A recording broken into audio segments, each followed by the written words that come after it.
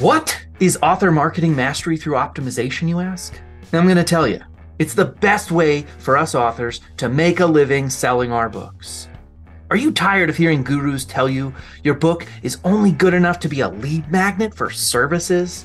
Are you tired of feeling like you have to be a slave to social media and then frustrated when the time you spend doesn't actually help you sell books?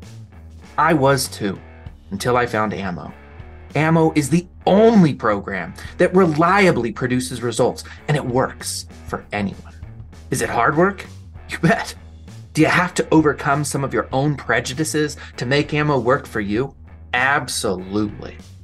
But rather than being another program that rah rah shish boss tries to get you emotionally excited only to offer unclear methods, Ammo shows you how to design profitable ads step by step through a unique, highly tested, and targeted formula.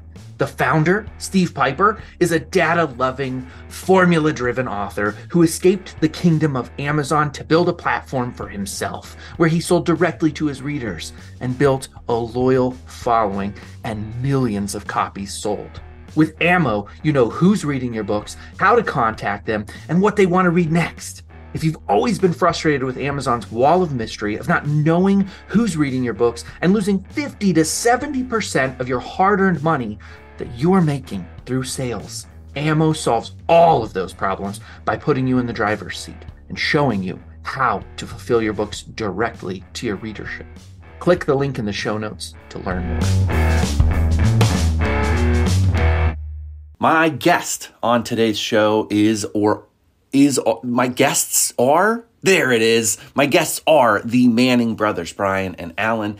And boy, do we have a knockout fun episode for you. We're going to geek out about the Marvel Comic Universe movies. We're going to nerd out about Die Hard and Lethal Weapon. And overall, this is just a great conversation about how you can do your best marketing once you embrace what kind of books you're writing. That may sound so easy, but I think sometimes we're writing romances, but we're acting like intelligentsia, or we're writing thrillers, but we're acting like superheroes. And I really love what the Mannings have to say about embracing the genre and letting that lead the marketing.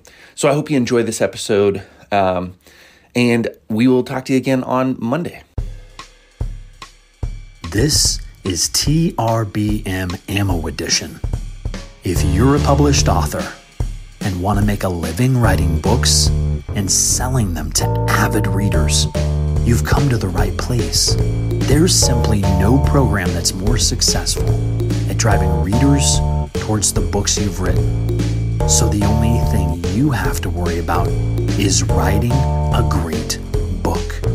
And the system with Ammo takes care of the rest. Thanks for listening to this conversation. I'm Alan Manning.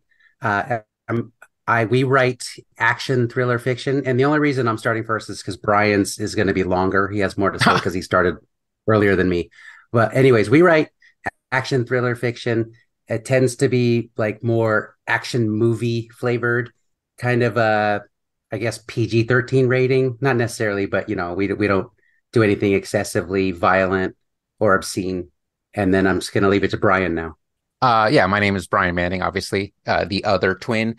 Uh, yes, we do write action thrillers. Uh, what basically happened was I started writing short stories in like around 2014, but we didn't really publish anything until uh, the, our first novel was a superhero novel in 2016.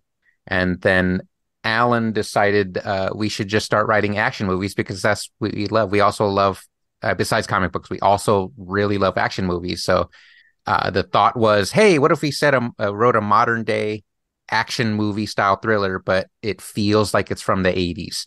Nice. So that's okay. yeah, that was the series we started with, and then it, during that one phone call, uh, we kind of went crazy and said, "Hey, let's do another one where it's modern day, but it feels like the '90s," and then one from the 2000s, it, and and then this was 20. It's like an it's like an action cinema MCU.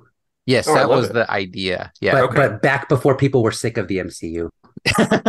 yeah. Well, I mean, we could we could stop and talk about the MCU for a little while because I I think I did actually Sure, yeah. finally get to the point where I feel like they they have taken a wrong turn and I'm hoping that they'll right the ship because I feel like there's so much more that can be done. That's like great, great stories to mine.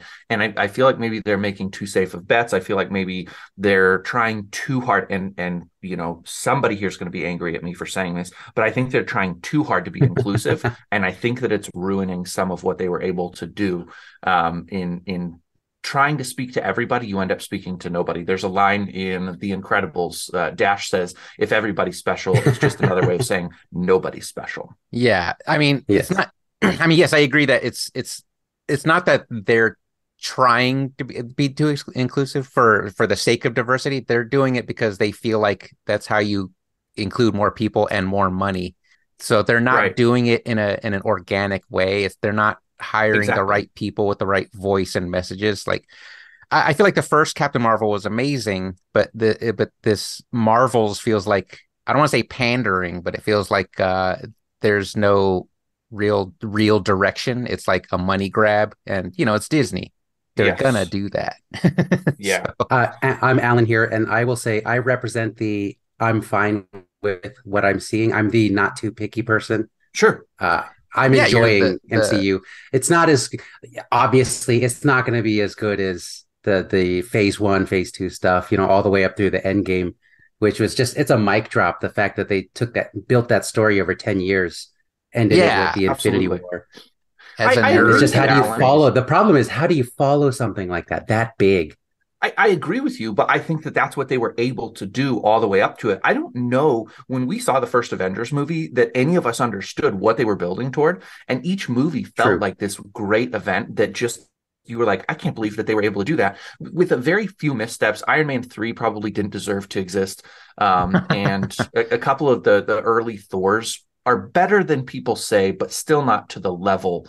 Um, I, I like they just had this ability to churn out stories with real characters that had real stakes and felt important. Yes. And then suddenly they came out with uh, the the Legend of Shang Chi, and I thought there was so much potential, and the movie itself was fairly good, but then they did nothing with it. They didn't like invest in that story and pull it forward at all for how many years now, and yeah, that's right. they like there's no cohesive fiber uh even though there are a lot of like little easter eggs and mentions of other things going on um and and so i think it's lost its way in, in that sense I think the I most they that. did was they connected uh She-Hulk by having because the Abomination fought. that's right uh, that's right Yeah. So they've brought Wong and the Abomination into uh, She-Hulk. That feels lazy. I enjoyed Yeah. I really enjoyed Shang-Chi and She-Hulk, but I feel like like you said there was potential, but they were just more interested in putting out content. true Calling all self published authors. If you live in the United States and you've always wanted to see your books in bookstores, this may be the most important ad you'll hear in 2023. Listen carefully. No matter where you are in your publishing journey, it's not too early to position yourself to pursue brick and mortar bookstore distribution. But if you're a self published author, you've probably heard getting your books in stores is next to impossible. That's no longer the case.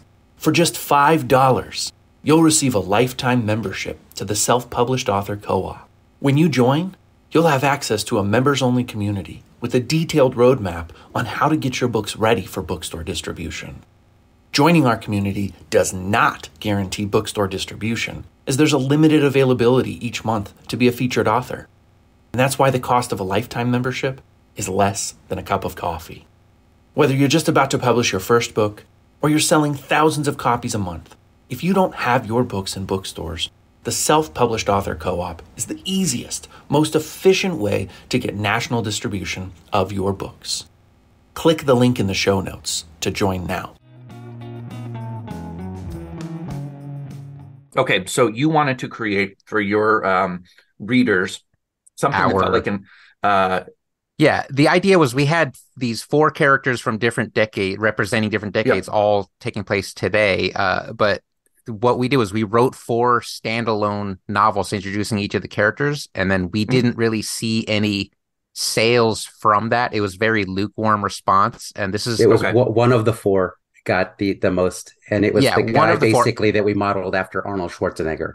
yeah oh, okay. it came out first and uh we we probably had like uh the most time right spent the most time planning and writing that one and i feel like that was probably to its benefit because what we decided was this is we were following the the 20 book the Michael Anderle 20 books to 50k formula at that point we were like hey let's just keep writing this one series because the idea was all four of these characters would come together in our uh, our Avengers, but what we decided to do was carry this initial character uh, forward and then just bring the other characters into We that. cro- yeah, we crossed the other characters over into his series.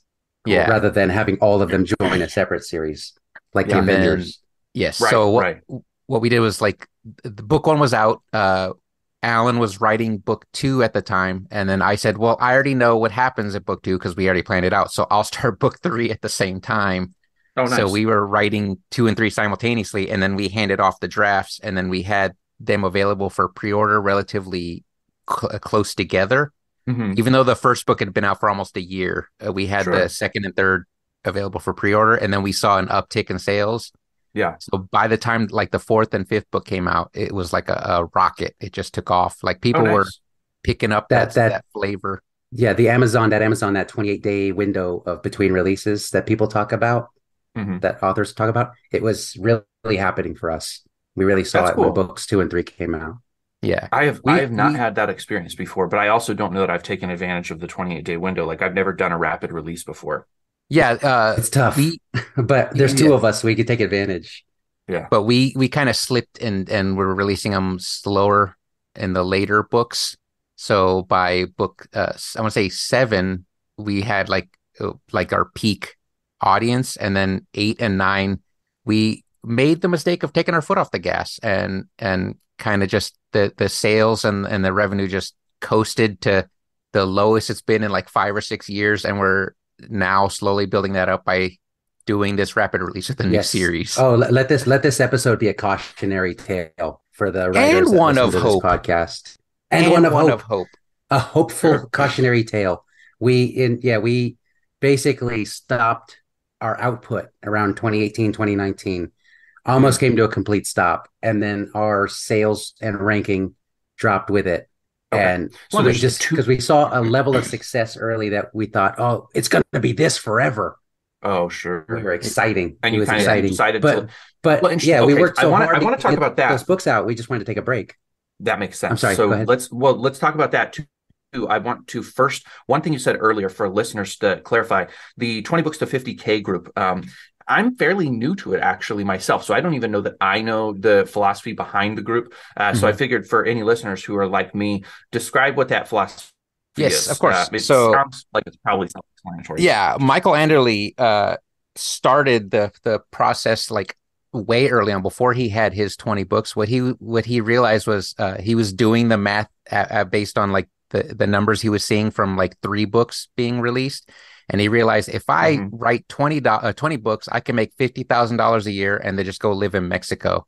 Where It, the it wasn't even a lot. Like each wasn't each book like he said if each book can generate seven dollars a day, right? yeah, it was some, yeah, it was that like was a, his number. Like if a I can modest write amount. because his books were making about seven dollars a day for the three books each, and he thought, oh, if I expanded that to twenty books, I'll make I'll generate about 50,000 a a year. year in revenue, and then I can go retire in Mexico and But- live off the book revenue. But what But happened he saw time- something different happen. Yeah, by the time book five came out, he was he had already cleared like ninety thousand.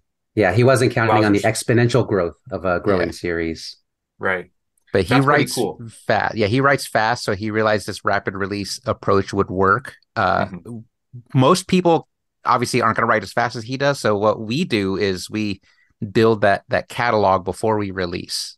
Yes. we, we're it's like it's harder because you know you're sitting on books but uh ultimately if you can do a rapid release you can amazon will help you out. So the idea is the the like when a book comes out in amazon you get like this 30 to a 28 day but it's like a 30 day hot new release window. And then for uh, 60 days it's still uh, like uh bumped up a little bit by the algorithm. And then by 90 days it, it, it tends to fall off where they stop Okay. really pushing it where you're relying more on organic after that point. Yeah. so if You you, know- release these books within like these 90 day windows closer to 30 is is best. But if you release them within that 90 day window the previous book gets a, a bit of a bump as well still because it's in that window. Yeah. so the idea is uh their philosophy you hear a lot is the best marketing for your book is the next the next book in the series. And i know that's uh not quite the ammo program as we just discovered Mhm. Right. but uh we we saw success with that but uh you know our our initial series is done now like we're in this 20 books formula and we wrote a nine book series and stopped Yeah. So- Yeah. You know what? And so that's the next thing I want to talk about too is that you you mentioned uh, that you kind of took a break, which again we'll get there. But I was already starting to think about this idea of if you take advantage of the rapid release style, um, and we we touched on this very briefly when I interviewed Joanna Penn, um, and she basically said the same thing like you could just hold books and then do rapid release. So you're not necessarily writing that fast but you are releasing that quickly. Um, if Right. you were to blend that or fold that into the ammo method what you could do is have your books available through your own bookstore on ammo. You could advertise through facebook. You could be selling those um, and gaining reviews on places. I wonder if you could put it on goodreads or if if that would disrupt the process. I i don't know. This is me thinking out loud but you mean like could start you Yeah, could sell them and not actually publish them on Amazon. Um, you would have to go Yeah. through uh, probably Ingram Spark to to order your copies um, if you were going to do paperbacks. But yeah, I mean, you could do the whole process without using Amazon, and you could be That's- selling. You're, yeah, you're probably talking about a, a plan that's braver than what we're willing to do. We okay. don't want to abandon Amazon. No, no, I'm not actually talking about it, uh, abandoning No, no, Amazon. yeah. What I'm talking about is selling the books, so you're not ever sitting on them. That's what I'm talking about. Yes. Use the power Oh, of I ammo see. to actually Oh, sell the books through Have them Shopify. released somewhere um, else and first. sit on them Oh, Yeah, sit on them for And a then while. just you rapid release to books so Amazon. you Ooh, that's interesting actually That's that's correct. That is exactly like the that. process I'm thinking of. I- And you know why- You can let me tell generate you why. sales while you're waiting. Let me tell you why i like that because you can be Please do. making money off of these books That's right. And then if for some reason you want to like when you finally rapid release them, you want to go with Amazon's uh select program, the the exclusivity, you That's can right. just like keep the print ones available. No, you can keep the print ones available. You just can't sell ebooks anywhere and then just right. to just do this exclusive release.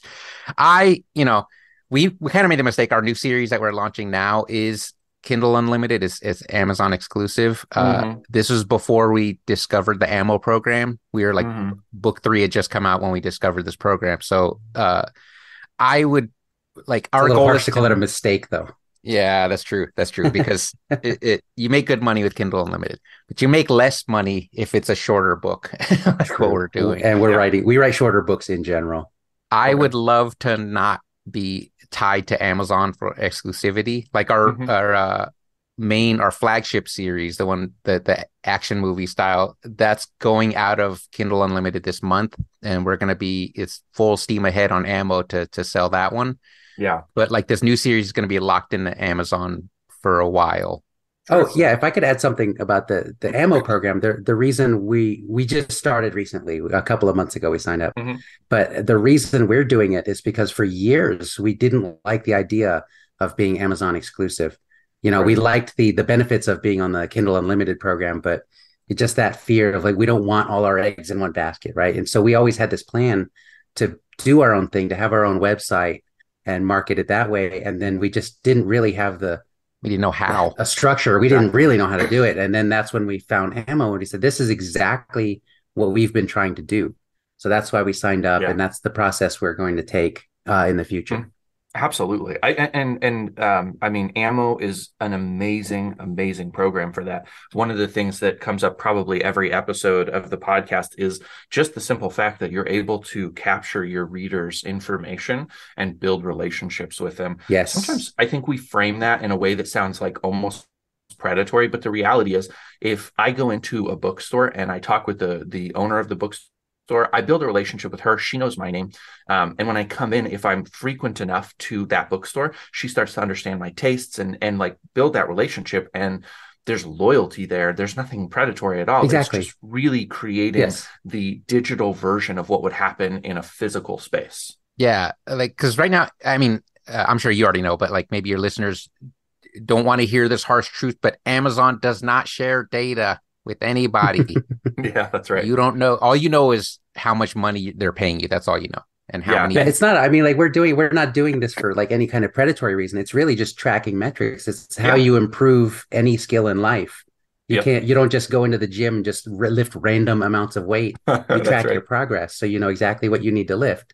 Yeah. can't just track your progress in the mirror. You have to Yeah. Yes. progressive overload. So and the, I- so the more information, the more metrics you can track, the better you can improve. Yeah. And I think that probably someone like Jonathan Yanez and uh, his wife Jennifer would probably say there's a, a great argument to be made for having uh, your your boat in two oceans at the same time, which they do. I think a lot of KU stuff for some of their their books, and they do some exclusive. Um, or, or I should say, wide um, books as well that they sell through Ammo. And if you can have both pumping at the same time, that's really where you can make a, a a ton of money as an author is is being available in both places because what happens on amazon even though you don't capture the data is that if somebody is doing your your ku series and then they finish that series they may go back to you and realize oh they have all these other books they're not on ku and they might buy them from uh the the kindle program anyways and so you're getting Mhm. double dip i guess in in Yeah, being no, I see that. in, in both That's worlds that's kind of what we're doing right now. Yeah. Yeah. or uh, that's the, so that's our plan going for that's our near future plan we have the one series the brand new series that we're trying to release monthly and it's in kindle unlimited and then we're going to have the older series that we're going to be using the ammo program specifically on Yeah. So I want to talk briefly about the break because there's something healthy in taking a break, um, and there's something healthy about having multiple focuses or being able to shift our focus. And one of the things that I've never been super comfortable with is the idea that I'm going to write a thousand books in my in my life, which that that that process is very much if not if not like explicitly told it is implicitly told that that you have to write more books in order to be a full-time author. And I want I would love to be in that place where I could actually write two books a year and make a full-time comfortable living and you know go to Mexico or wherever it might be kind of that 20 books to 50k because I don't want to Mhm. have to write uh 7 or 8 or 9 books a year.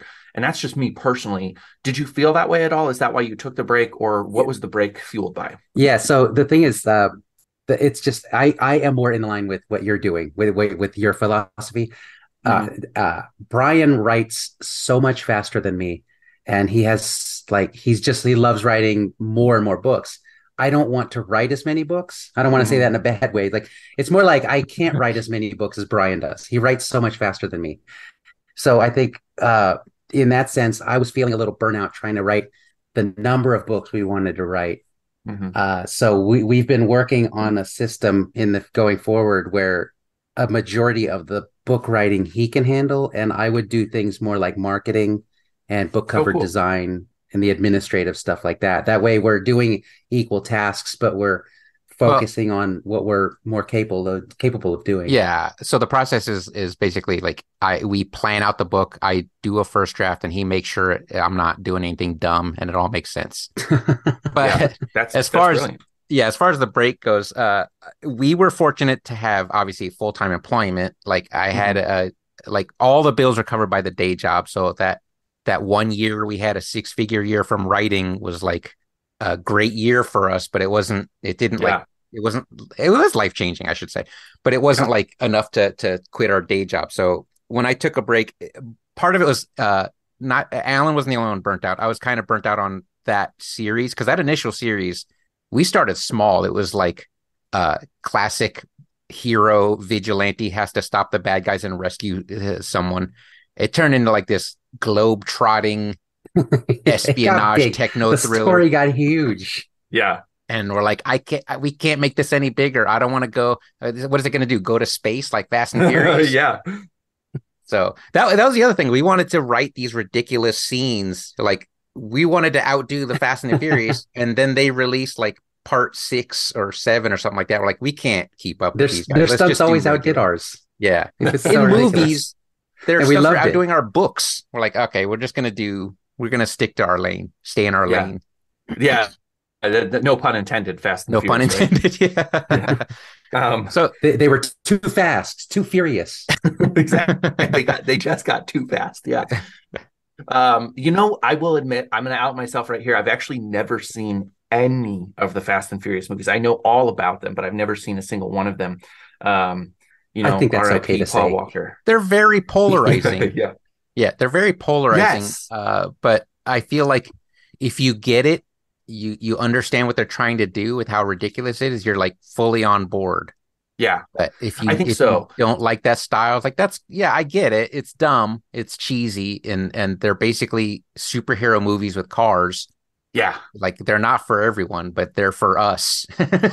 yeah and for for the people who are going to read your books i think that that's Yes. such an important uh part of this i'm actually in the process as soon as we get done i'm going to report record a podcast that i'm going to put out today um, which just you know on on the off note i've never been this late to do a monday episode before but there's a lot of stuff going on um, but talking about the idea of embracing what you're writing and believing in it. There's something really powerful that happens when you market your books, when you believe in your books.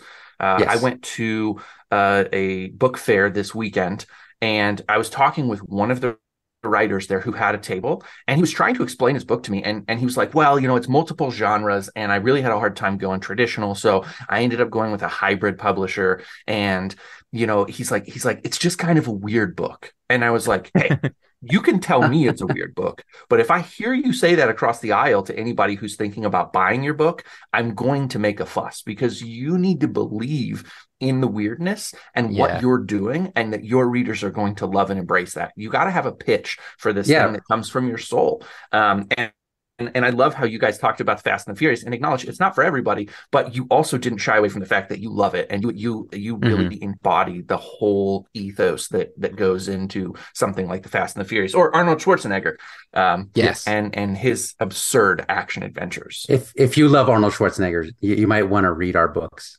yeah, It's, yeah. They're they're they're like that. Uh, But we did So, notice that uh, there's people making excuses for the reason they write books, and like because it, it's it's imposter syndrome. Like we were writing thrillers, so people are going to think so. "Oh, you're writing like Tom Clancy stuff." We're not writing Tom Clancy stuff. Right. Like we we're not even attempt. We're not, not even that- aiming for that. We're we're writing Yeah. what we wanted to read, and you know we grew up. That's reading. the thing. The yeah, the ideal reader uh, analog that uh, we we first saw, heard that in a Stephen King book on writing, where he Mhm. talks about writing for the ideal reader. Mhm. You know, and then we have the advantage of I write for Brian, and Brian writes for stories for me. We just happen to like the same thing. Yeah. Yeah. So and that makes it simple, and then that way we can write basically with full belief in what we're doing. There's a whole thing about writing to a market, and I agree with that idea that people, you know, if you write a book to a market that exists, people will buy the book. But we don't always fit in every market. Like the action thriller thing, for example, uh, a lot of those tend to be very gritty, lot, highly detailed about uh, the way governments work, and you know, just you need Yeah. to be so accurate in your research. And we didn't want, we're not as excited about that as we are about a guy that flips a car over with his bare hands, yeah. which Here's- we here's the funny thing about admit that, though. is so ridiculous. It is ridiculous. But ridiculous. if you're into Absolutely. that, you're into it. Yeah. but we and we we're make okay with that. sure yeah we just make sure we found out if you make sure uh this is from from uh mark dawson's mistake. As long as you're accurate with firearms and explanation of that people will accept the dumbest stuff. Just don't put a safety on a glock like mark dawson did which you know he's it's funny that he's so successful and still trying to live that down that one mistake down. I mean he's probably not anymore. He, he's not thinking Yeah. anymore He, but- he probably still brings it up from time to time. That is really Yeah, funny that you yeah. mention that because that's where i, heard have- it from. Like he he's brought it up Yeah, my my detective series, uh, I had somebody who bought it and and like he gave it a five star review, and then he came in behind and he's like, I I absolutely love your book. I'm really looking forward to reading the rest of the series. I also want to offer up to you to be a reader, just so that I can make sure you don't make any more gun mistakes. Because and he gave me the reason why I made this gun mistake, and I was like, well, holy crap, I didn't realize that was going to be an issue. But yeah, that's that's the only time I've ever had that particular. Situation happen where someone's like, I just want to help you never make that mistake again. It's, It's- too important. yeah. the vast majority of readers yeah the vast majority of readers aren't going to notice or care but the people that do notice will write It's a a- bad a- review about it and then other people will start paying right. attention So we do right. we Yeah. do uh, enough gun research to the point where people will say, "I read your book. You guys sure know a lot about guns, or you guys sure love guns." like we do our research This just to make sure. Yeah. Um, I do want to ask that. And So we're not we're not gun nuts or anything. We just Yeah, we're interested in the topic, is all. Yeah, well, you want you want to get it right. You don't want to make the mistake. I, I Yeah. am curious. Um, I personally tend to gravitate towards writing things that I don't have to research. I find research of this kind repulsive. So the weird thing is, if you were to talk to my wife, she would say he's always researching something, like just constantly researching. But when it comes to making fiction, I'm pulling from what I've researched organically and I'm I'm threading that into my books. But I don't actually want to have to stop composition to be like, I wonder what was going on in Omaha in 1983. You know, like, it, and you you already said the same. So I'd love to hear kind of your thought process on that. Yeah, that. we don't like doing a lot of research if we don't have to as well. I like it's it's the the live free or die hard. Uh, we're hacking all of the internet kind of story that we write. So Yeah. I don't want to study IP address and how hacking really works. So we just kind of throw like jargon around to make us seem We- like our characters know what they're doing. And then Well, but the yeah, I don't want to say we don't research. Oh, sorry. Go ahead, Brian. yeah, I'll was like, yeah, we do we do the the uh, we tend to stick with what we know, but if we don't know, we tend to like you know make sure our characters act like they know. Yeah. and then and then that'll that'll convince the reader. What we have is we have had a character that would get into these long-winded explanations about stuff, but then the other characters would cut them off. So you think they know what they're talking about, but we don't Right. have to actually write it. It's a it's a brilliant writing technique. If this were a writing technique podcast, we would dive deep into that because Yes. Cut I, I off. also I do the same thing. I try to give you the sense. Um, my mom was a nurse, so I have, and I, I went through a couple of years of college where I learned some like anatomy and things. So I do Mhm. tend to use a lot of anatomy and health type of stuff. But if you had a real doctor or nurse reading my book and paying close attention, they would be like, he doesn't know what he's talking about. Um, yeah. but it is convincing enough, and I know enough to sound dangerous. And I think that that that's a really big part. It wrapping it back into the marketing idea. That's a big part of being successful as a marketer is when you're there to sell the book, whether it's through your landing page that you built through Ammo, or uh, the description that you have on Amazon, or if you're at a book fair talking to a reader. It's that sense of like, oh yes, this book is is deep and profound and Mhm. entertaining and exciting. It's the way Yes. that you wrap the package that Mhm. matters so much. There was uh, also yeah one one of the books we wrote had the character has to ride like this really nice high end motorcycle, right? We know nothing about motorcycles. We've never been on motorcycles. Brian did all the research for it, had the guy on the motorcycle, and we got a five star review from a guy that said he's like a professional motorcycle racer, and he loved how accurate we got all of the information.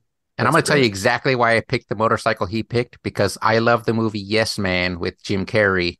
And he takes that nurse's Ducati. So I was like, well, he's going to ride a Ducati. That's the, the That's level of brilliant. research we start with. Yeah. Another one, we wrote a book where the, the setting happens in France, and I was so stressed out having to research France, just locations No in kidding. France Yeah. and how the police operate there. And, that was know, that book we did the most gun research. laws and everything. We did the most Mhm. research on that because we also had like a, a an evil weapon that the bad guys were using, and we traced the the roots back to like the those uh what are they called like dumb dogs from Vietnam, those inert Yeah. bombs from Vietnam. We're like we did so much research for that one book, and it's probably my favorite of that action movie series. And it's book four, so it's a good jumping on point too. That's how we wrote it. Yeah, we, we wrote it. It's Yeah. a nine book series. We wrote them in three trilogies, basically, with an overarching storyline over it all. Okay, that's what I was going to ask you too next, and this is just really my own interest. But uh, like my my detective series, I wrote the first three books intentionally so that they stand alone. You can dive in on any one of them and feel like, okay, I know what's Oh, going on. nice. There's nothing that's you know you didn't need to know what happened in book one in order to read book two. And then I thought by book four, if I have to keep doing that, I will not be able to delve as deeply as I want to into the overarching story. And so, I, by book four, you have to have read something that came before to get a sense of what's going on. Um, do you? You said you wrote them in trilogies, and then there's one big story. Could you read like the second trilogy without having read the first trilogy, uh, or do Yes. you have to start from the beginning? Yeah, that's We, yes, want to say can- yes. Yeah, you can read the, the second yes. trilogy. well, I mean, because we just we explain what happened. yeah. We spend a first chunk of book four do it. Go you doing like going back and like recant uh, recapping stuff just Yeah, through sure. exposition. So you can read the second trilogy. However, you can't read the third trilogy because we didn't do it like that. Because, like Mhm. you said, they're gonna have to read the other books at a certain point. So what we Yep. decided was if they're you know if they read book four if, if it's not like you know a, a marvel comic or like these these ongoing series where it's like book 20 is out and you're like well i don't want to read the first 20 no you could just pick it up anywhere we Right. didn't it's only nine books so we figured they're gonna have to read all nine at some point or at least four through nine What what we did Yeah. do though is even though they're trilogies, they're each book is a standalone story, Yeah. and then each trilogy cliffhangers. is is uh, a storyline, and then the nine book series is a long storyline. So you could get a complete story from any book you read without feeling like there was a cliffhanger, you know, without Yeah. feeling cheated out of a, a full story. Like, oh, We they had- just want me to buy the next book. We had Right. four main villains in each of those four standalone series originally, and then Mm-hmm. when we combined all the series, we brought all of those villains together as one large organization. Oh, So nice. okay. yeah, the the first trilogy introduces it, and I mean, yeah, the first trilogy takes out the first bad guy and introduces the organization, and Yeah. then the rest of the series they're chasing down the rest to to shut it down. So one more one more question about the actual writing itself that I'm curious about, uh, and then we'll Mhm. move back into the marketing side of things because that's why people are here for Marketing. it. That's why we're here. We want to know too. That's right. Yes. Okay. So um, my my last question is: Did you know how things ended before you started? Did you have a rough idea of how the nine books would go, or did you discover along the way? And and this isn't necessarily even a question of outlining because I have a rough idea of how my nine Yeah. book series goes, but I still am having ideas about it when I walk my dog in the morning all the time. Yes. So we had an- a rough idea of how it was going to end. Very rough though. It was far smaller Yeah. in scale.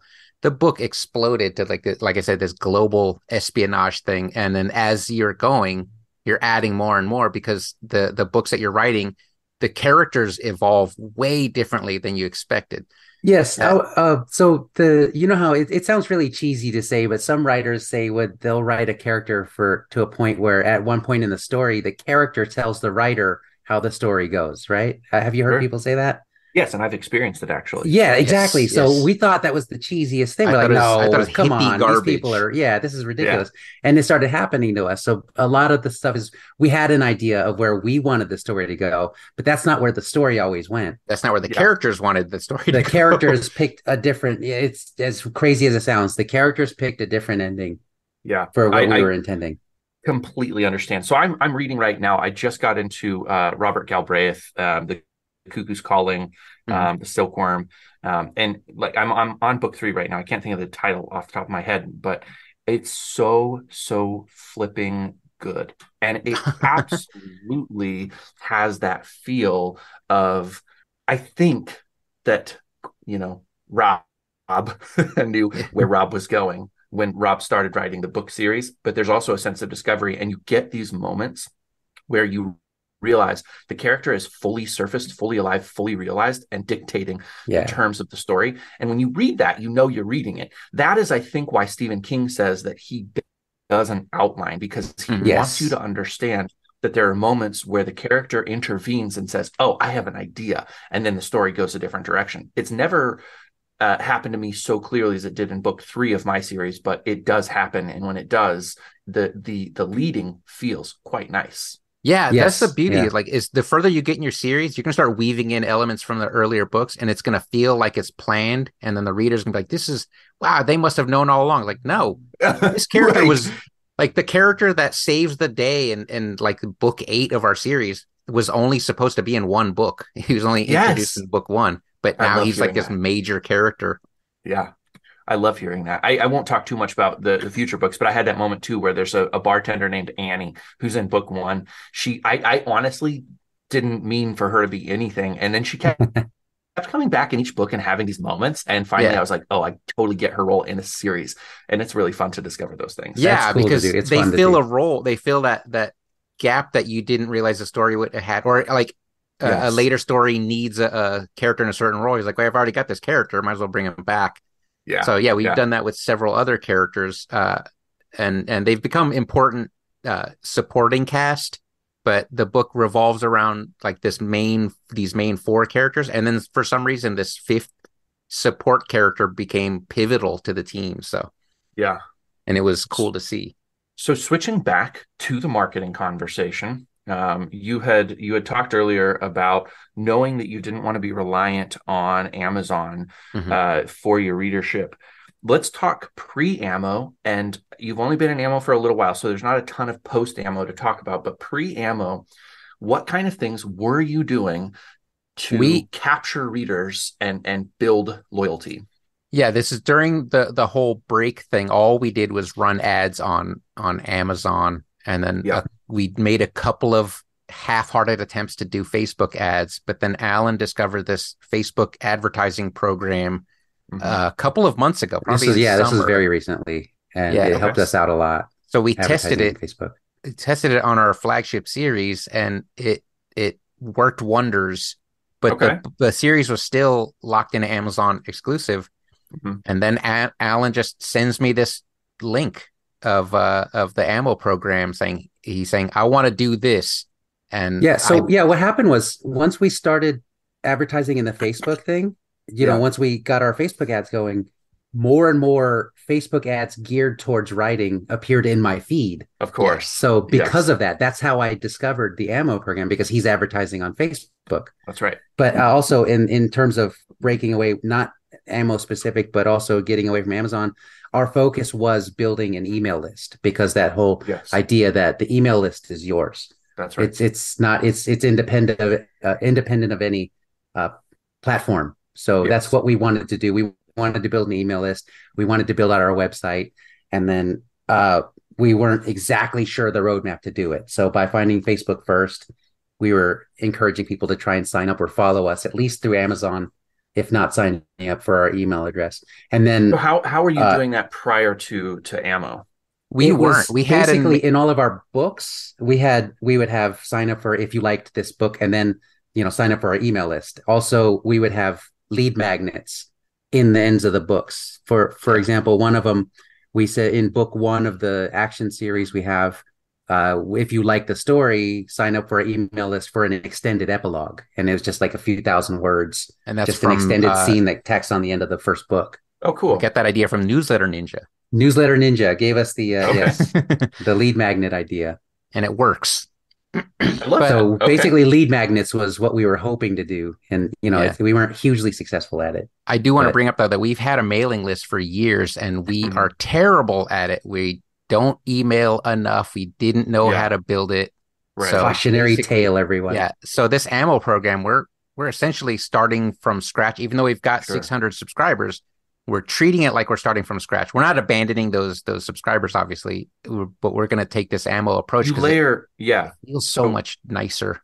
You layer, and this is important for anybody who is joining ammo based on the podcast or any of Steve Steve's ads on on Facebook. Anywhere that you you join in the stream, understand that if you have neglected your subscribers up to this point, it's okay. But then every single subscriber you have that you haven't had a specific email plan for, consider them dead. Consider them Mhm. people who never bought your book. You have their email addresses, but you got them uh, not through relationship building. And so I all of those people onto um, like the freebie funnel instead of the purchase funnel because I want to treat them like they've never met me before. And you'd be surprised how often that's the case. In fact, even since joining Ammo, and I've talked about this openly, um, I was never good at emailing in the beginning. I was more focused on getting the Facebook ad to work.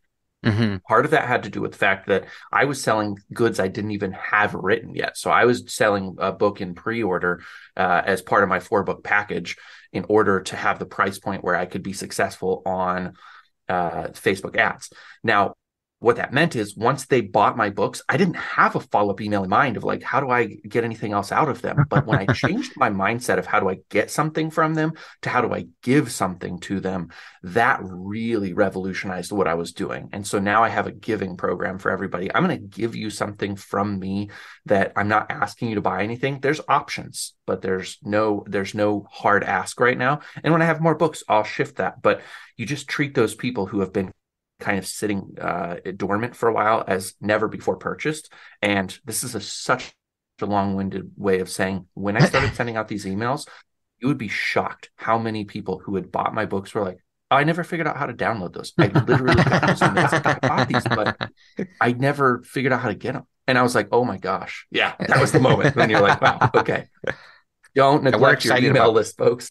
We're excited about this Yeah, ammo it's great. program though because it's it uh, like it's the path to the the the access to our audience that we wanted. And it starts with building that audience first. And it, there's like a lot of potential in that. So uh, we found at the right time because like i said we're all of our books in that flagship series are out of amazon exclusive like at, the, end, of this, month.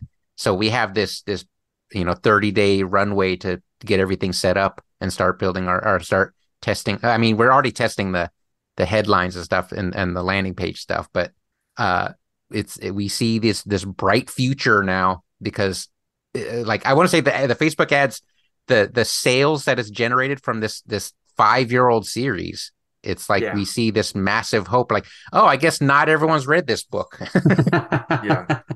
isn't that isn't that a big huge, huge light bulb moment when you realize that ammo actually has the potential to resurrect the books that you've written before so Yes, you were yes. you were really counting on rapid release but right now you're realizing Yes. okay those books i wrote before i can advertise them on facebook and reinvigorate them it's Mhm. a huge relief that the idea that because you, you think oh i had all these sales and this book is a little older no one's interested anymore Mm. but it's just you had okay yeah even if you had a hundred thousand sales there's millions and hundreds of millions of people Yeah. reading books they haven't seen Yeah. your stuff yet Absolutely. So that's actually another thing I'd like to say to listeners. that I love in this episode specifically, we're getting into some things that have been maybe implicit in the podcast before, but we haven't stated out uh, outright.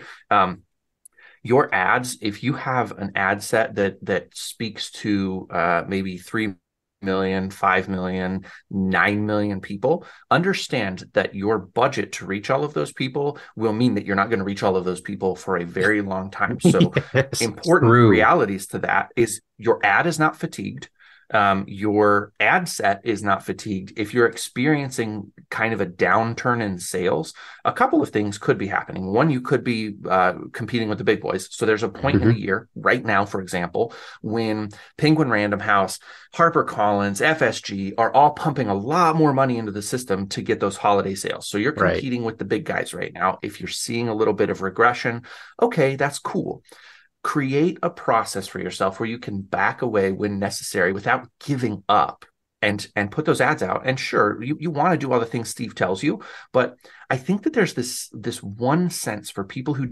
join ammo and i don't know for you too if this has happened before where you're like oh the ad must be dead.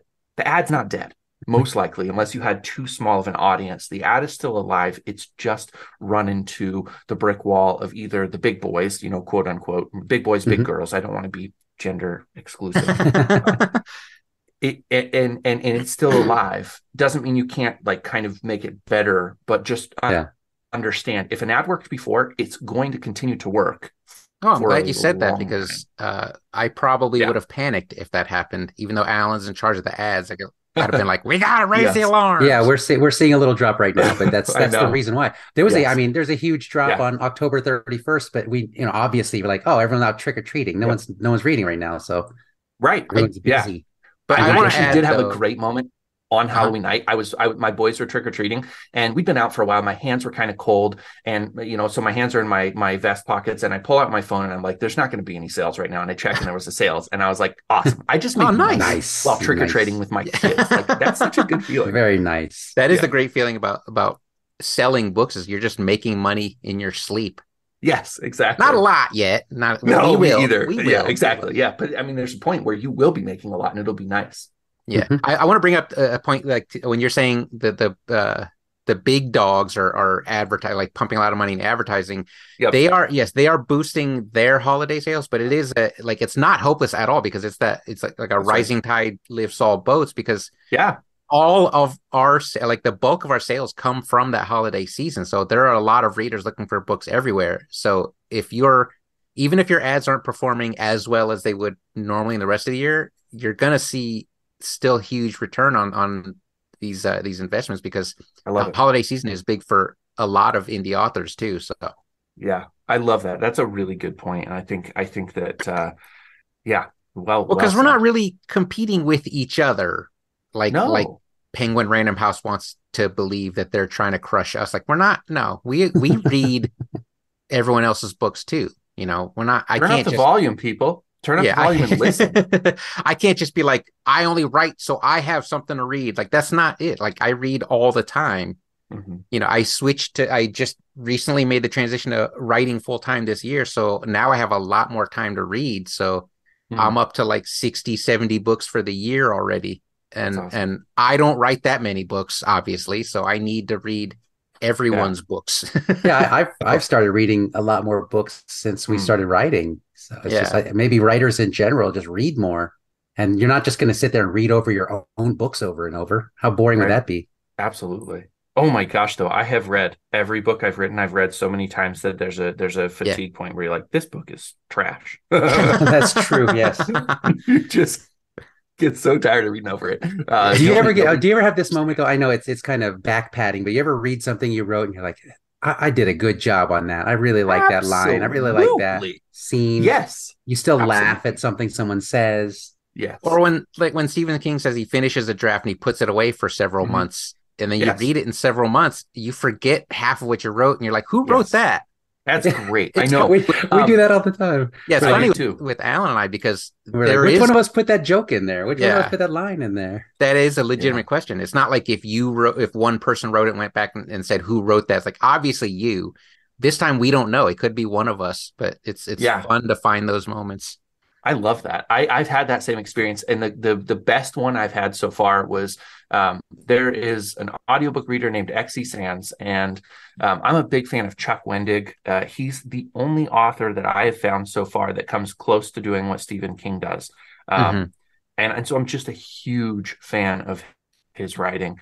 And Xe reads a portion of uh, two of his books, actually three. She she's one of his main readers, but I heard her voice and I was like, her voice is the voice of my main character.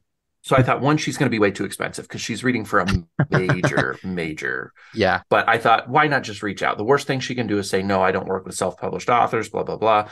But actually, I, I reached out and I said, hey, um, my character is uh, hard up on her luck, heavy smoking, heavy drinking, crazy lady, uh, badass detective. And uh, I think you would be the perfect person to voice her. And then after I sent it, I, I had this moment where I was like, I think I just accidentally insulted Xe because I was like, you sound like a drug addict. but no, she wrote she wrote back and she said she sounds like my kind of person. Um, I'd love to talk with you about it. She said I have a, a long wait list to get recording going, and um, you know my prices sometimes can price me out of self published authors. And I talked to my wife about it, and I was like, okay, cool. Let's spend four grand per book to do this with uh, an amazing. Oh, talent. nice. Um, and so we did, yeah. And and Have you done it? I- have you have you completed it? The process of yeah, two of them. Two of them are done. The third one is scheduled. I actually do have to raise funds for the third one. I can't afford to do it right now, but I'm on her schedule and I'm working Mhm. really hard to just kind of stock money away for this this third book. That's But cool. yeah, she is yeah, because good. we want to do that too. Like I we have had the moment you're talking about where you heard your writing or you experienced your writing and you were like, who wrote this brilliant piece of it's so good. It's such a good feeling. Yeah, Yeah, it is Li- our- listeners, listeners, don't be ashamed to be a big fan of your own work. That's yeah, right. you should be Yes. your biggest fan. You should be your biggest fan because Yes. you're the ideal reader. You're writing stories you want to read. That was that's the whole idea. That's why we're doing this, right? Yes. We want to do audiobooks for all of our books, but like our first series is is done through Tantor, and uh, I Hmm. we loved hearing that. Like they picked a, an amazing narrator because we had our Yeah. list too. We're like we want we want uh, R.C. Bray. R.C. Bray. Who's the other one? Yeah. Luke Daniels. We want like these big name people. we wanted RC Bray first, but Yeah. they're like they almost laughed at us through email. You're not getting Oh, no. him. But then they Oh, gave us a list. They gave us a list, and and they found Roger Wayne, who does the Mhm. narration for our books. He's amazing. He's Yeah, amazing, great and Great it's the perfect uh, voice for that. And we wanted to use him for all of our other stuff, but we don't know how to make audiobooks outside of Tantor, so we we're Gotcha. we have to research that. Can we pick your brain at some point after this? Obviously, Most definitely. Yes, absolutely. through email. So you, I don't want to cut in your schedule. yeah So- no you're, you're you're absolutely fine um with that in mind we are we are kind of on the the the sort of uh, ramp down into the end of Mhm. the episode so i want to talk about uh, this is something i haven't done before but i'm really interested in hearing from you why keep doing this um but from the lens of when you have millions of dollars and hundreds of thousands of readers Why would we still write? yeah yeah Uh, like Alan said earlier, I write all the time. I didn't grow up wanting to be a writer. W- what happened was we used to play and run role playing games all the time, yes. like two or three times a week. And I was always writing campaigns and backstories. And then that just stopped, but I didn't stop. So I have all these ideas in my head that I just want somewhere. And then we have this Google Doc that's this Google uh, folder that's just full of dozens of book ideas that I know we'll never get to. But if Yeah. I don't have a way to get them out of my head, I'm going to go nuts. we because- we look through that list every once in a while and get really excited like we should do this book or this this Yeah. one is so ridiculous who it. wrote this one Yeah. So it's like even if uh I'm not if when we start making our millions with our hundreds of thousands of readers, I'm still going to keep writing because I have too many ideas and I know I'm not Mm. acting like I'm special because that's such a common trait among all authors. Like you all have that list that you're not going to get to. We all have it. It's it's just this this Mhm. uh you come up with an idea, you're like, "Oh, that'd be fun to do," and you write it down. But uh I'm also like cuz I also uh, draw and paint and and it's the same thing. It's like I have these ideas in my head. I have to get them out. Hmm. And I just discovered that uh I don't I'm, I'm sure Alan's the same way. I have aphantasia, which means I can't mentally picture anything and I Oh, don't have like this inner dialogue. that's a weird trait for an artist to have but i think we both kind of have Yeah. that. So it if these ideas are stuck in my head, I can't visualize them until I write it down in full. So Okay, so we have to stop there because uh, I'm not I'm not actually familiar with the the word or the term. I just uh, discovered I- it this year. I talk to my wife about this all the time that uh, I actually write things in the book. I'll give my characters physical descriptions from time to time, and I note them because I actually never have seen my characters. I don't know what they look like outside of um, like uh, I use Midjourney a little bit Mhm. for the Mhm. AI images, and and I've had some images where I thought like that's pretty damn close to what I think I thought they were going to look like Yeah. you know um but yeah in, in general like i don't see even when i'm reading books and i don't know why that is i literally envision faceless characters more often than not I'm yeah, I'm Yeah. exactly the same way. The only character I know what it looks like is is our main character because Alan said he wanted to We- put Arnold Schwarzenegger in a book, and I was like, okay, so it's Arnold. So Well, yeah, that when, when we create characters, when we create main characters, we generally use an, an existing analog, an actor, yeah or or a celebrity, some known person, and that helps us visualize the person because we know Yeah. what they look like just from that. But creating someone from scratch in our head, no, we don't normally do that.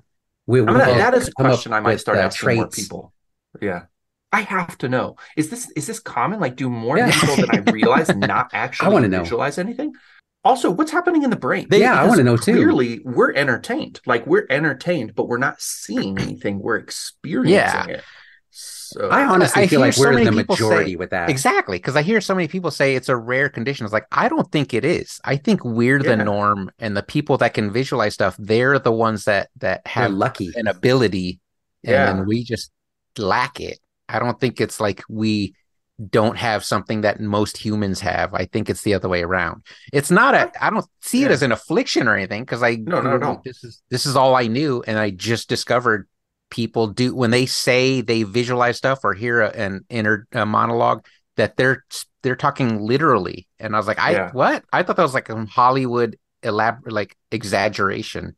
Yeah. So it's it wh- what I mean. I'll, I'll add a little bit more, maybe fuel to the fire. Is I'm thinking about the Harry Potter movies, and when they came out, uh, Daniel Radcliffe and Emma Watson and uh, Rupert can't think Grant maybe Gint, Um, Grint, like. Glint, Gint, Gint, Grint. I think yes, close. Grint. Close. Those three in my mind were a perfect fit for those three characters and I grew up with them. So I was working in a movie theater when the first when the first uh, movie came out, and I remember just thinking they look exactly like what I think that Nice. the, the people Mm. look like. Now, granted, J.K. Rowling did have a picture of Harry on her first book, so that helped. Uh-huh. right on the cover. Um, yeah, Yeah, so you kind of knew what they looked like based on the illustrations. But then I Hmm. also did hear people say specifically about Emma Watson that she was not who they pictured for Hermione. And I'm wondering if those are the people who are able to visualize.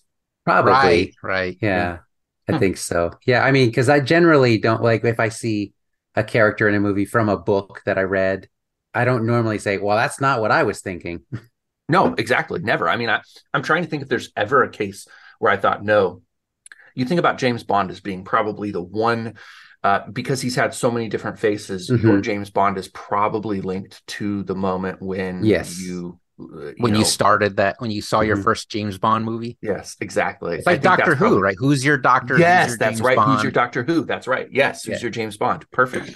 Um, and I will also say that the one mistake they had, uh, bless his heart, is Pierce Brosnan because he was a bad guy. He was a bad guy in Missed Outfire, and you can't take Right. a bad guy and make him James Bond. I don't, I don't know why, but, But just can't he do was- it. He was a good guy in Remington Steele. Yeah, You're too What young, aren't an you? You're old too young, aren't you? I think I might. I, I I think I just admitted that Daniel Craig is my James Bond. I think that's what just happened. oh, he's mine too. He's mine too. And I, but I remember Remington Steele. I'm gonna be. I'm gonna make people mad. I don't like James Bond movies. I don't. dare like No. Brian said that. Brian said that. Brian says I never really cared for them. Like there's that that time in June where where I forget which cable channel it was. They would just play the James Bond marathon. I was like, oh great, here we go. yeah. Every time I turn on so- TV, it's gonna be a James Bond movie. I guess then my question uh, uh, for you is: Have you read the books? I have not. The the Okay. Ian Fleming books, I haven't read any No. of them. Yes. Okay, Brian. I want you to read uh, Casino Royale and then decide whether okay. you like James Bond or not. Casino Royale is one of my favorite books of all time. Now, I will admit, my former uh, like closest reader and and good good friend uh, JP, uh, I recommended he read Ian Fleming James Bond, and he didn't he didn't connect with it. But when I read it, I was like, this is so much better than the movies. It's not even on the same Nice. level. Like the books are so good. The Oh, okay. movies then feel kind of pale in comparison. But yeah, I, I I would say if you get some time, even audiobook it and and give it a listen, or you know, I'm checking the have time to library app right now. Yeah, yes, I love it. Do you use Libby? Yes. Yes. I love Libby. Yeah, shout out to Libby. Shout out to Libby. All right, Fund your public libraries, people. Yes, are important. Exactly. Yes. Get in your libraries. Have have your books uh, in libraries so them. people can yes. them. Oh, we don't know how to do that. How do we do that? I want to do I'll that. I, I, did, I, I did a library series you can actually listen to, and I'll talk to you about that as well uh, another time. It's uh, okay, yeah. It's not as hard as you think it is, but it can't, of course, be exclusive to Amazon. You do have to have Yeah. Ingram in order to start the process. So, Okay, okay. tell everybody where they can find your books. I think I think we've kind of circled around it enough that people have a good idea, but it's always good to do the formal, like you know, Right. Here, here Uh, it goes. If you go to manningbrothersbooks.com, uh the the site is not grossly outdated, but it, it the none of the none of the new books are on there yet. The new series that we started, but manningbrothersbooks.com will take you to the the flagship series plus those the other standalone books plus the superhero trilogy that we actually did end up finishing uh and then from there you know hopefully you'll find the rest on amazon so yeah right Fantastic, guys. This We- is we have way a- more fun than I expected. I mean, I, I was expecting to be fun, but you you two are a, a riot of of good fun. well Oh, that's we- good to hear because we were expecting, uh, like the listeners might go, "That guy talks too much," because we sound exactly the same. and we talk over each other that guy talks over himself somehow He's insane. but it- like, we also love podcasting and and we haven't done it in a while so it's like this is our outlet so we're gonna let it all we're gonna let it all out here Absolutely. Um, I am curious because we we did a, a non-visual this time, which worked out well for me. Um, but uh, do you actually are you identical twins? Yes. Yes. Yes. Okay, because your voices are really similar. That is, is trippy. I never knew who was talking. I didn't look a lot. Well, if you saw us now, that you could tell us apart because Brian currently has a mullet That's right. on purpose. Oh, on no. purpose. Because we live right. to, to Ah. bookend this conversation, no regrets. No regrets, people. We no longer live our lives with manufactured regret. So I got the haircut in Brian- March. Brian the Yes, mullet in man. March when I got laid off and decided to write full time. I got the haircut that Brian in 1990 wanted because my That hair had grown out already. So What can I say? Amazing. no regrets, people. Gentlemen, we'll be in touch. Thanks so much. No regrets. Thank you. Thank Thank you. you. Thanks for Yeah. having us. This was Yeah. great.